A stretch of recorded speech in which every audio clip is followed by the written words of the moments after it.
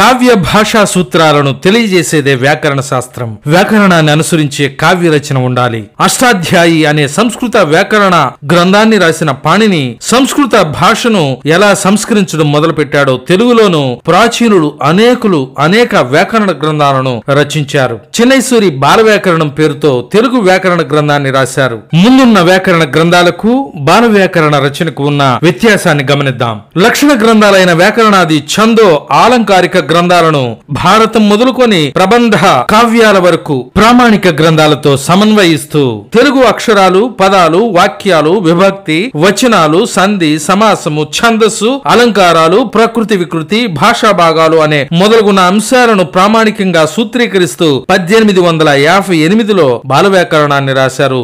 సూరి బాల వ్యాకరణంలో ప్రస్తావించని లేదా అభిప్రాయ భేదాలున్న సూత్రాలపై బహుజనపల్లి రాసినదే ప్రౌఢ వ్యాకరణం